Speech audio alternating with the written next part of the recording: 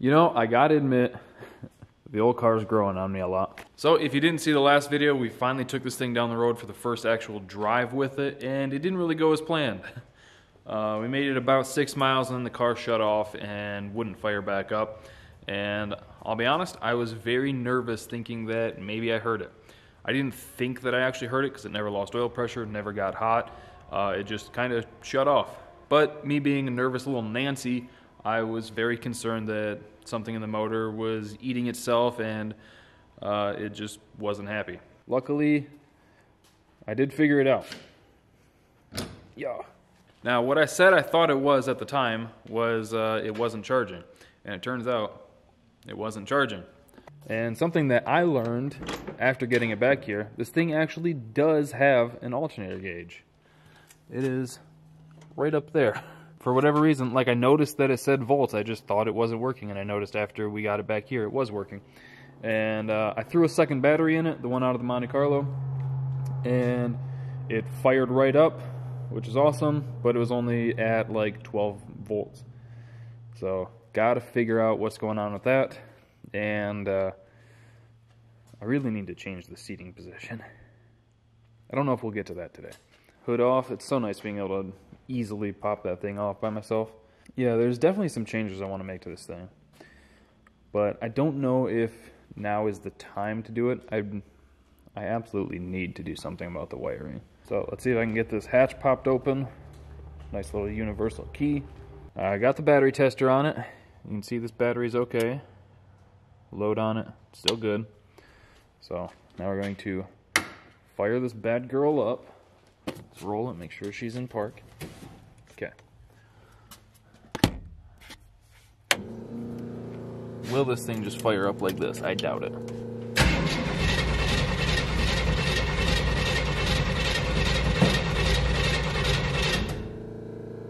These damn carburetors.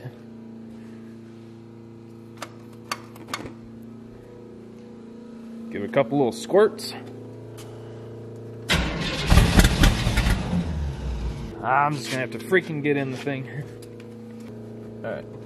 Pump, pump, pump it up.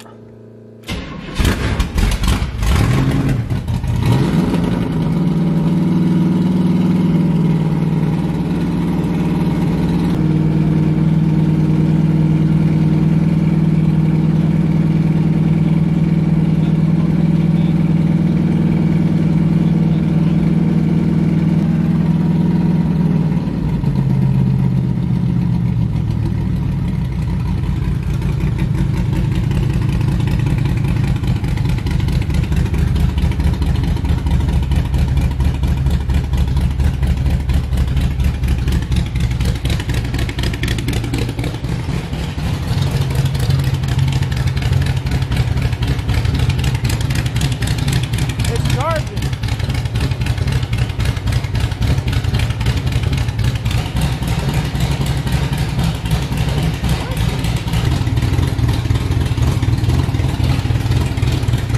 Yeah, it's all good. 'Cause that one says it's not charging. I don't know. I don't know, man. That's very weird. So it is charging. I mean, you saw the gauge. The batteries are getting like 14.7 or whatever volts. But the gauge at the dash is only saying like 12.8 or whatever, 12.5. That's huh. I guess it's I guess it's just wherever that gauge is hooked into. It, I don't know, man. The joy of uh, new cars, I guess. I'll figure that out another time. Right now, I feel like it's a good time to share the history of the car. Because uh, Brandon, the guy who owned it before the guy I bought it from, uh, the one who actually like put the car together, um, he got a hold of me and he was like, "Hey, I know a bunch of the history of that car. Uh, when you get a chance, call me." So I called him. We talked for I don't know, 20 minutes or so, and uh, he just gave me a rundown of the car, and it was pretty fascinating. So I figured it'd be an entertaining video. So to start at the beginning, he said he bought it with the chassis already put together. I want to say that he told me he saw it sitting for a while, and uh, the guy he bought it from built the chassis and everything, and he used to race it a bunch over on uh, the east side of the state. And when he bought it, he said uh, one of the last times the guy had it out, he lost it and actually hit both walls with the car. So these quarters were caved in a bunch. And he said uh, when he first bought the car, he had to pop those out a bunch and fiberglass and Bondo it to make it look pretty good. And I'll say it looks pretty good. Like you can see that they're a little wavy, but I would have never thought that it hit both walls at um, whatever track he said. I don't know if he said a track, but he said he lost it, hit one wall, overcorrected, went over, hit the other wall. I mean, all things considered, the car looks pretty good. But yeah, there's fiberglass and Bondo here, which I knew that there was Bondo because I can see this crack. So he bought the car from the dude that built the chassis and everything. Uh, he never said how fast it went. I'm imagining uh, probably like low 12s, high 11s, give or take. So he bought the car and fixed the fenders and everything, and uh, he painted it this robin egg blue, is what it actually is. And then he said he built this engine with mostly uh, leftover parts. So it is a 327 that's bored 30 over, so it's a 331, cast internals, flat top pistons with four valve reliefs. Uh, he didn't say if he had it decked or anything like that. I'm just going to assume not.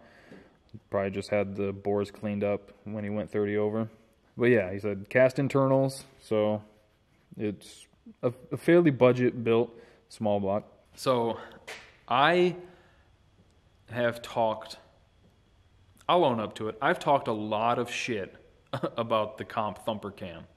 I've called it a car show cam. I said it makes basically no power. It's all about sound. And uh, for the most part, I still believe that. I think it's, you don't care about how the car performs, you just want it to sound real rowdy. And I still stand by that. So if you have a thumper cam, don't take it personally. That's just my opinion. But that's the cam that's in this. So when we were saying, man, that thing sounds pretty rowdy. Well, yeah, it's supposed to. So when he said that, I, I couldn't help but kind of chuckle to myself that it's like, what comes around is all around. I mean, we already know Edelbrock Victor Jr. intake. And uh, he said when he had it, it had a 650 carb, I believe. The thing about the heads, though, is uh, I'm not going to name any names, so hopefully nobody gets in trouble. I kind of imagine that any statute of limitations is up, so I don't know. The story goes that these are an experimental head. You can see the World Products W there. They are aluminum, and uh, the story goes that there was three sets of test heads made, and then they were all supposed to be destroyed. One of his buddies worked, I think he said worked at the place that was supposed to destroy him or something like that and the engine that was to be destroyed, uh, two of the sets got destroyed, and then he kept this third set. And they were just sitting on the shelf at his buddy's place for years, I guess. And uh, when he was putting this 327 together, his buddy was like, "Man, these heads would be sweet on it." And he's like, "Well, I mean, they're one of one basically, so you're probably going to want an arm and a leg for it." They ended up trading a bunch of stuff, and Bob's your uncle. The heads are on the engine. So I don't know what size valves, I don't know what size chambers, I don't know the runners, anything like that. I only know that they are a World Products experimental head. I did have the valve covers off and I looked at the part numbers. Nothing came up. And they have like this kind of weird webbing that comes off the rocker bolt mounts. You know what I mean? Like normally, well, I can show you. Like here, how there's kind of like that webbing. Those heads have it in an X off every stud mount, which I don't know. Maybe there's some heads out there that have those. I, I'll be honest, I haven't done a ton of research on all small block Chevy heads, so that might be common now. No idea. But um, yeah, all I know about them is that they're aluminum. They were made by World Products, and uh, that's it. it's kind of uh, like a, a spare parts 327 that seems to run pretty good. I mean, the car with me in is 2950, so it doesn't have to move a crazy amount of weight. But, which to be honest, after looking at the car, I think with me in it, we could get it below 28. I really do. Like, there's a lot of weight that could be pulled out of this thing. And then the Turbo 350 that's in it, he said was in it when he bought the car. So uh, he just figured run it, see how it does. And like I said in the last video, it seems to do pretty good. I wish it had a trans brake and maybe a higher stall because I feel like it's like a 2800 stall or so. Um, but yeah, it, it seems to do pretty good. It's a fun car. It's a handful to drive because, you know, big tires, uh, ladder bars, the things. It handles like a wet mattress. he bought the car, put it together uh, for his wife, and they had it out three times, making just street passes. And uh, it was more than she was comfortable with, which. After driving it, I totally understand. this thing, it, it's. It's a handful. Like, it's nothing like crazy fast. Let's not get it twisted. It, I truly believe right now it's like a 1220 to 1190 car, but it's just it's all over the place. It's squirrely. It's not really squirrely. It's just it sways so much. Like if you've ever driven on slicks, you know what I'm talking about. You feel like you're doing a burnout when you're going 30 miles an hour. It's just very uncomfortable the first few times. You'd probably have to drive this car like 30, 40 times to well, maybe not that many, but you'd have to drive the car a lot to get real comfortable with it. To where like James Brown over there, that car's pretty much all intact. Like it, it, the rear end isn't cut up or anything like that, so it's it's super stable. Even with when I have the slicks on it, it's still it, it doesn't shimmy around a whole bunch. It, it's a it, it's a pretty solid car. You know what I mean? To where this thing, it's been it's been cut up, it's been beat on, it's been put in the wall so it, it's uh, it's an old back half pro street car.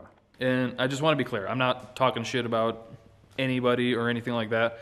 I think it's just like we all know what the car is. It's got a ton of potential. It it truly does. But uh, there's just a bunch of bugs to work out of it. And I just thought it had a real interesting history. I thought it was really cool. I thought it was real amusing that in one pass it hit both walls. I really wish there was a video of that somewhere. That'd be cool to see. And uh, I'm one of those people that when I know the car has an interesting history, I just like it more. So, like before that phone call with him, I was like, man, I don't know, I might get rid of it. It's kind of whatever. And then just like getting more familiar with the car, I, I appreciate it a lot more. I think it's just it's a lot cooler. So that's going to do it for today's video. Hope you guys enjoyed this little stroll down uh, memory lane, I guess. uh, hope you guys enjoyed it. Thank you for watching. Thank you for subscribing, clicking that bell. I'll see you next time.